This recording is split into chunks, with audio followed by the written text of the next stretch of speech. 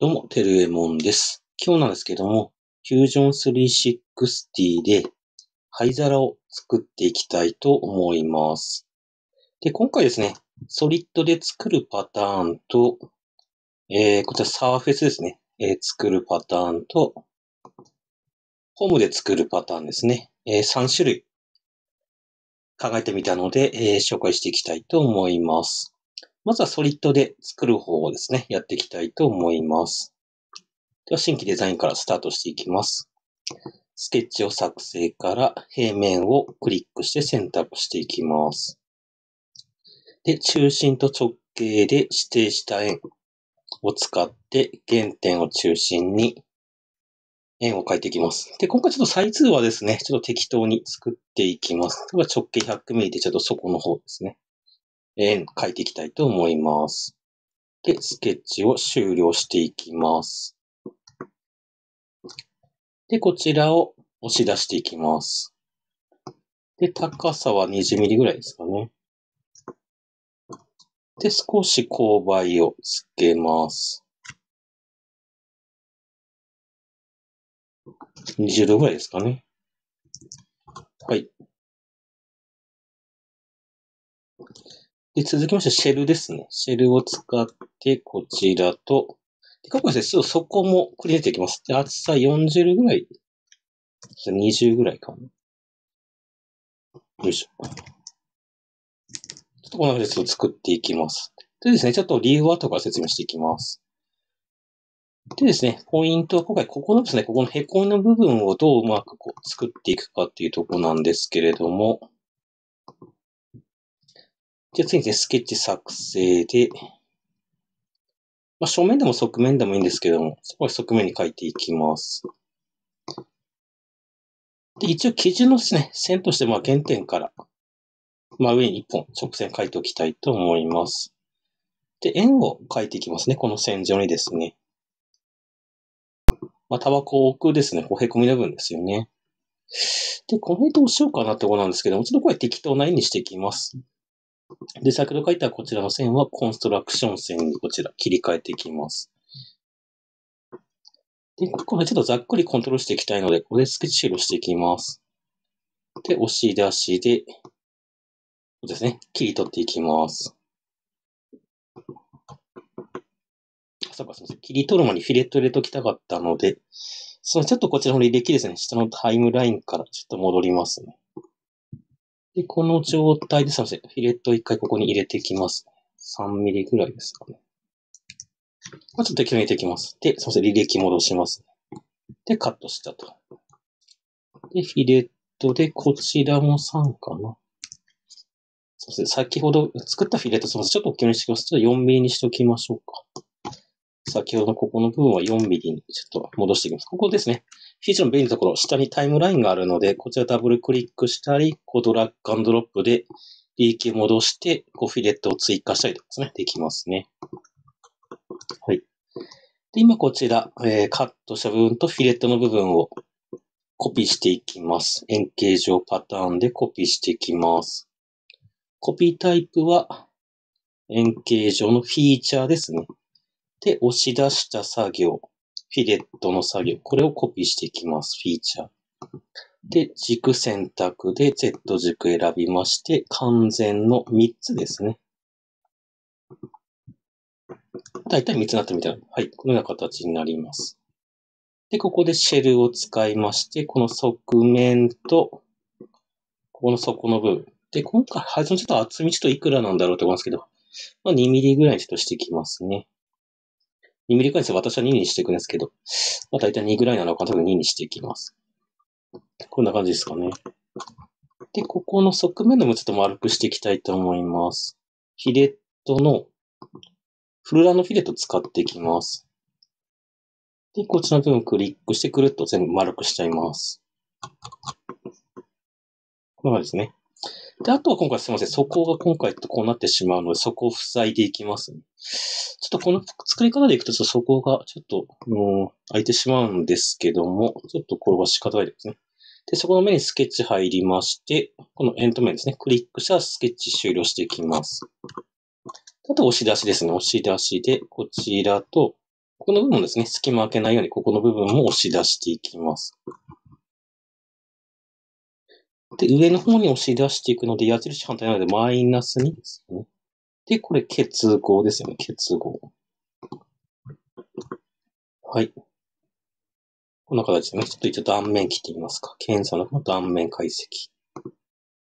こうですね。で、ちょっとこの底の部分にしても丸みつけたいなと思うので、フルランドフィレットじゃなくてフィレットに戻して、こちらはまた3ミリですかね。で、3つけたらこちらも厚みですね。1ミリつけますか。よいしょ。厚さ2ミリになんですね。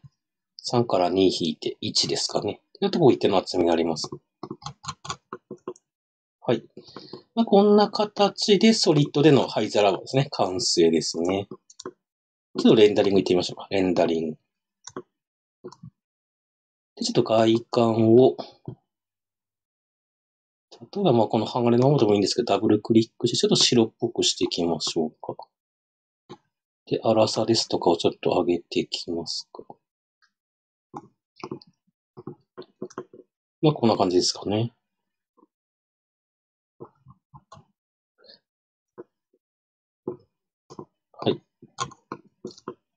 こんな形で出来上がってます。まあ、これがちょっとソリッドで作る方法ですね。続いてサーフェスでもちょっと作っていきたいと思います。新規デザインで、サーフェスですね。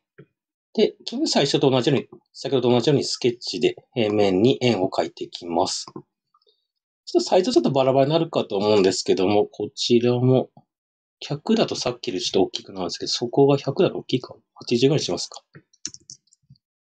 ちょっとスケッチ終了していきます。クリエイションスがちょっと配置のサイズと適当です。で、ここで押し出しで、高さは先ほど同じ20ミリですかね。で、角度は先ほどと同じ、ここもちょっと20度にしますか。はい、こんな形で。で、そこを先に塞ぎますか。パッチでそこを塞ぎますと。そうですね。で、ここからちょっと羽を生やしていきます。まあ、ツバっていうんですかね。ルールドっていう機能を使っていきます。そのクリックしまして、方向かな？で、選択で Z 軸選んで、で、90ですね。90度。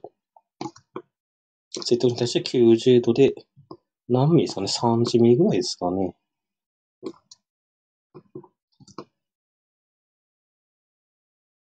さっきとちょっと、ちょっと、あの、サイズ感違うかもしれないですけど、これでいきたいと思います。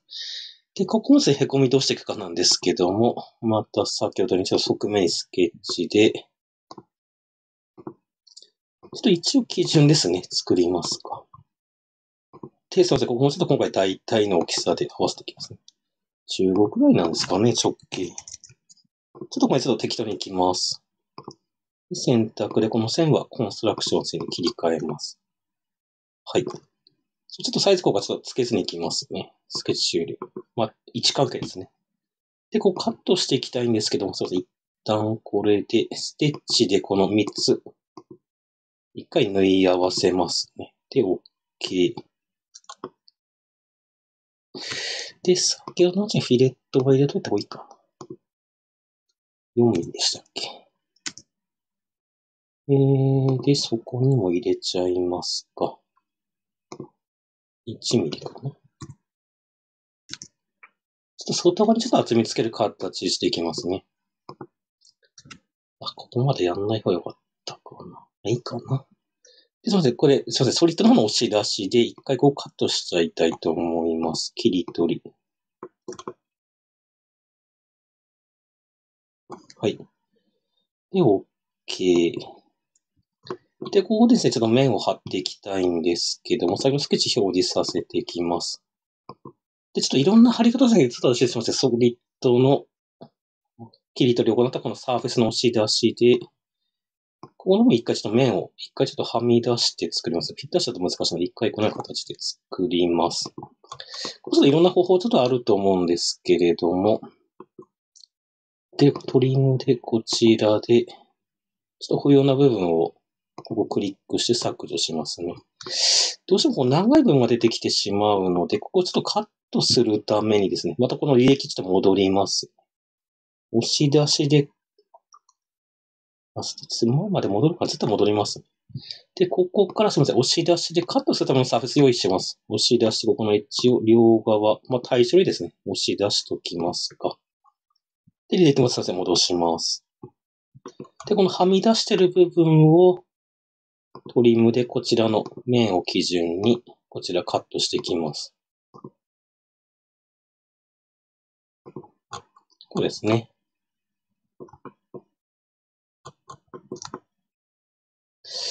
で、このボディをコピーしてトリムしてフィレットガン。ちょっとやってみますね。えー、円形状パターン。当然今回ボディですね。ボディでこちらサーフェスボディ。で、軸にこちらの、マスクチの線ですけど、青い軸。で、完全で3個ですね。で、すいません。ここちょっとカットできてないので、さ、すいません。トリムで、こちらを基準に、ここを消しますと。ちょっともう一回いきますね。こちら基準に。ちょっともうこっちから先に行くかな。消えるはずなんですけども。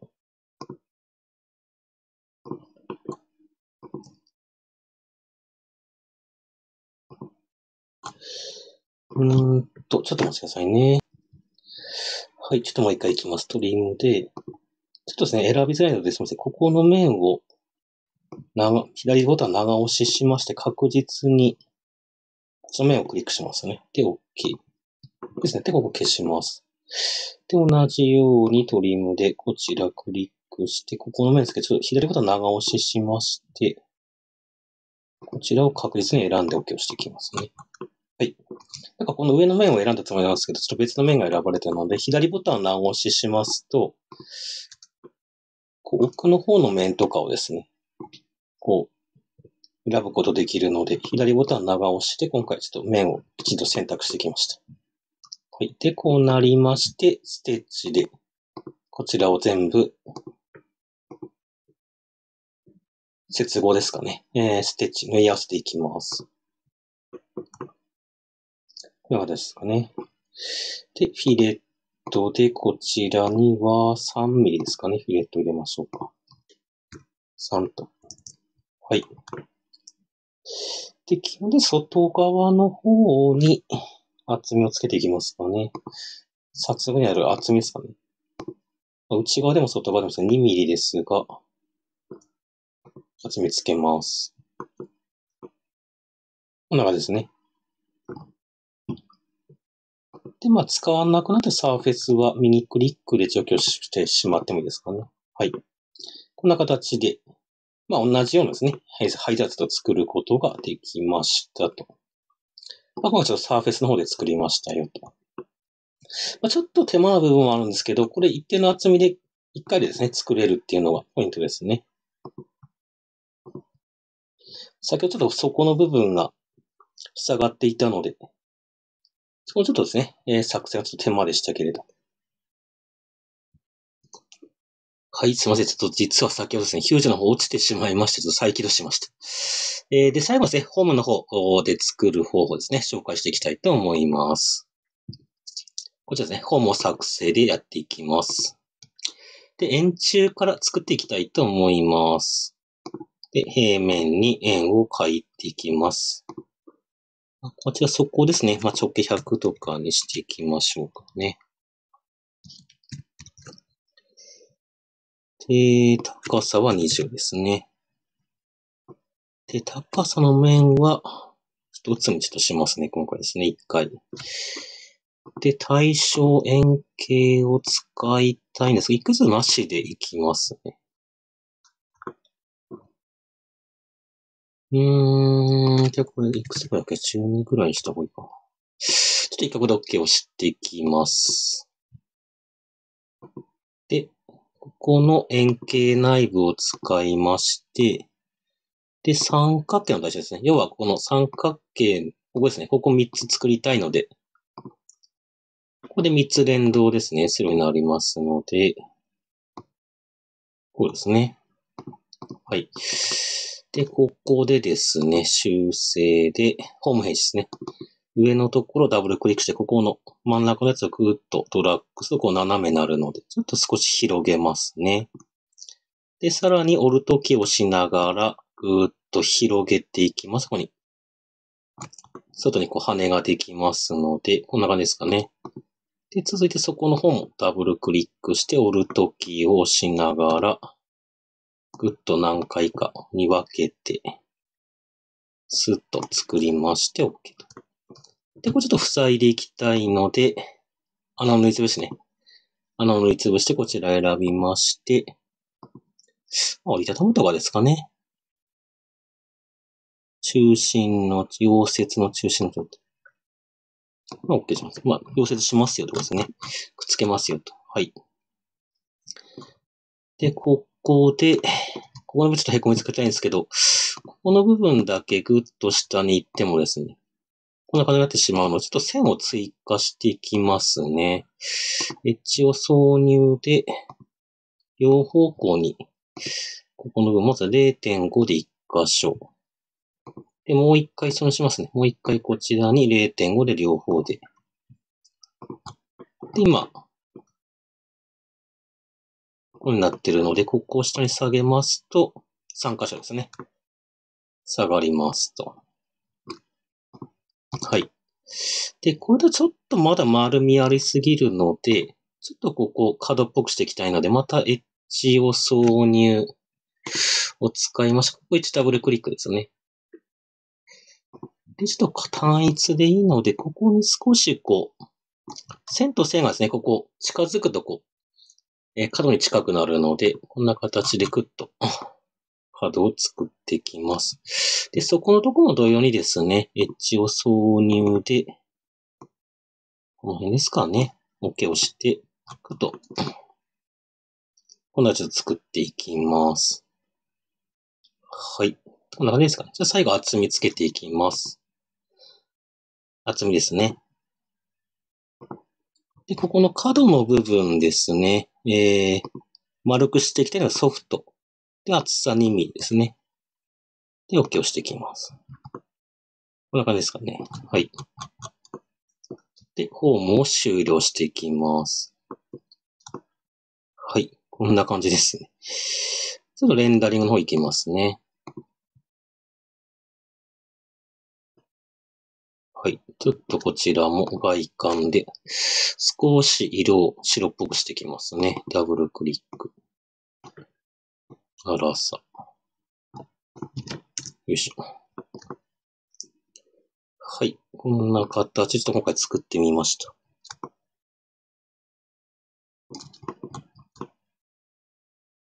はい。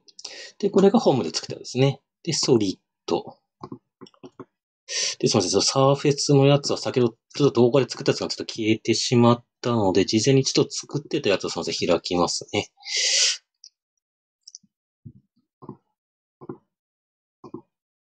で、ちょっと少し違いますが、こんな感じですね。サーフで作ったのは、まあ、押し出したりとかですね、パッチとかルールドで貼っていってってやったパターンですね。まあ、今回ですね、えー、灰皿の方ちょっと作っていったんですが、まあ、ソリッドで作る方法から、えー、サーフェス、あとはホームですね。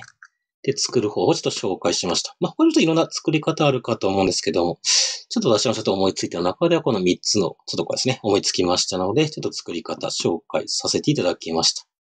はい。まあ、少しも参考になれば幸いです。はい。それでは今回の動画は以上にしたいと思います。最後までご視聴ありがとうございました。はい、すみません。ちょっと一つ補足でした。先ほどですね、このサーフェスで作るときなんですけども、ここ、ハムドシ最初ちょっと作ったんですが、最初にここの外側の面を用意しておいて、押し出す際に、ここオブジェクトまでにして、こちらの、ね、面まで押し出すって最初からやっておきますと、最後ここのカットをする必要もちょっとなかったかなと思います。これでトリムで、こちらを基準に不要な部分を消すとやっていただくと。えー、こっちもちょっとあの、これ少し効率良かったかなと思います。はい。すいません、補足でした。はい。すいません、最後までご視聴ありがとうございました。最後までご視聴ありがとうございます。いいね、チャンネル登録よろしくお願いします。